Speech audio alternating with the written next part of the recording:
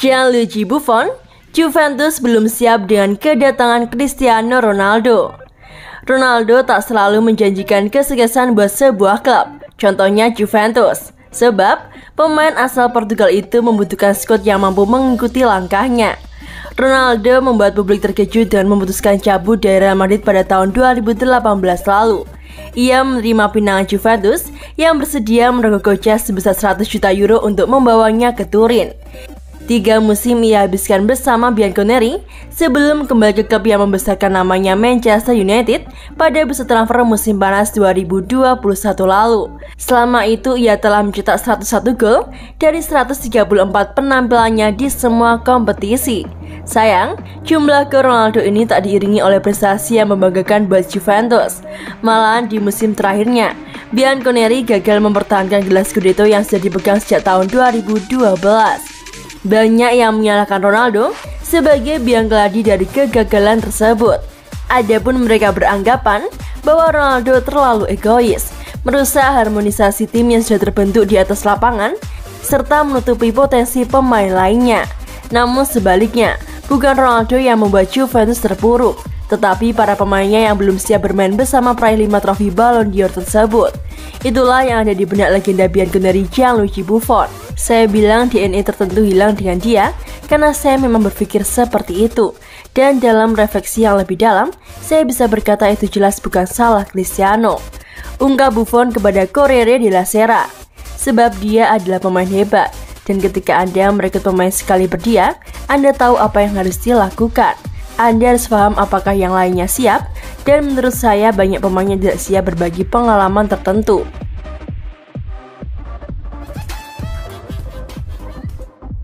Ngebat Dejan Kulusevski, Tottenham sedari Juventus beberapa pemain untuk ditukar. Daily West berupaya memperkuat pasukan mereka dan siap melepaskan beberapa pemainnya untuk mendapatkan suntikan dana. Nilai jual pemain internasional Swedia tersebut naik setelah penampilan gemilangnya beberapa musim terakhir bersama dengan Bianconeri. Dengan dia sekarang akan dilepas oleh klub kisaran 30-35 juta euro. Tetapi Spurs tampaknya ingin mengajukan kesepakatan untuk pertukaran pemain agar memuluskan transfer Kulusevski ke London.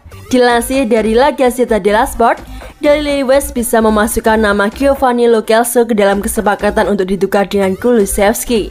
Pemain internasional Argentina tersebut diperkirakan bernilai 48 juta euro dan Spurs dengan senang hati mempersilahkan Lo Celso pergi dari klub. Selain Lo Celso, Gelandang Spurs lain Tangu Dombele juga bisa dijadikan opsi untuk dimasukkan ke dalam kesepakatan dengan Juventus. Dembele di musim ini tak mampu memberikan kesan positif pada manajer Antonio Conte yang membuatnya terpinggirkan di beberapa pertandingan terakhir. Meski Spurs tampaknya sangat berniat untuk memboyong Kulusevski, negosiasi pasti akan berjalan dengan mudah mengingat nilai jual sang wingers yang tinggi ditambah kontrak pemain yang berusia 21 tahun tersebut masih berlangsung hingga tahun 2025. Apalagi posisi Kulusevski di Juve tak tergantikan dengan ia telah tampil dalam 21 pertandingan di semua kompetisi dengan mencetak satu gol dan tiga assist. Selain dikarenakan penampilan impresifnya, badai cedera yang dihadapi oleh Juventus juga menjadi faktor besar bagi Kulusevski untuk menjadi tulang punggung tim.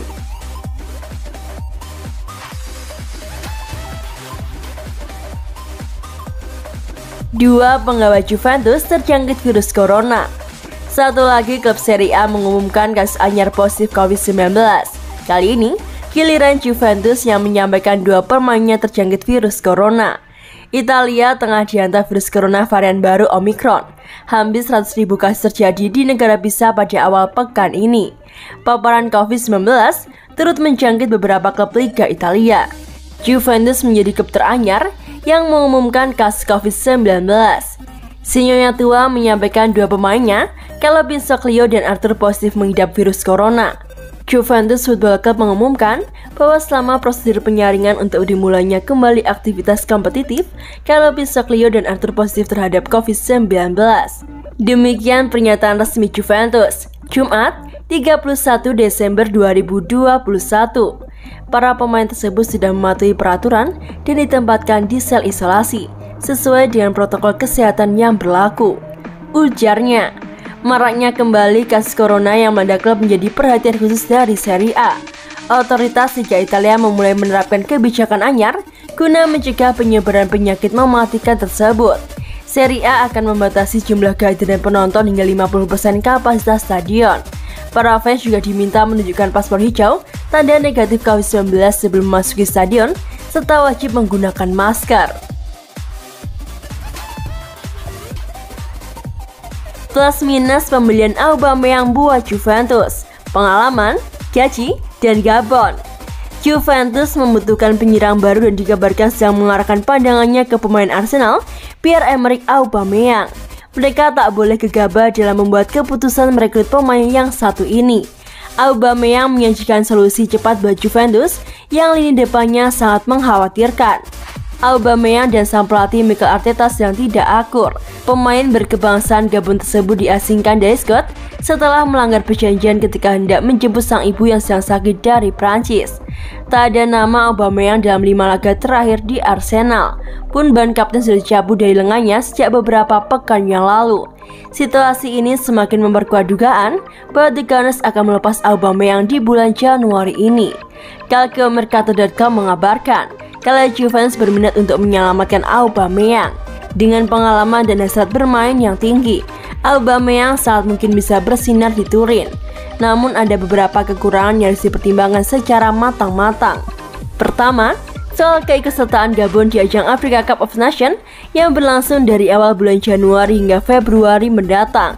Jika Gabon berhasil melalui fase grup, Juventus akan bisa memainkan Aubameyang selama beberapa pekan. Selain itu, Gajinya yang cukup tinggi bisa membuat neraca keuangan jadi berat sebelah. Perlu untuk diketahui bahwa Aubameyang dibayar sebesar 13 juta pos oleh Arsenal per tahunnya. Angka ini melebihi gaji yang diterima oleh Matis Celek selaku penerima bayaran terbesar di klub 8 juta euro. Aubameyang bisa merusak batas atas gaji Juventus. Dan kalau sampai terrealisasikan, kedatangannya bisa mengganggu proses perpanjangan kontrak Paulo Dybala yang sedang diusahakan rampung oleh Bianconeri pada saat ini.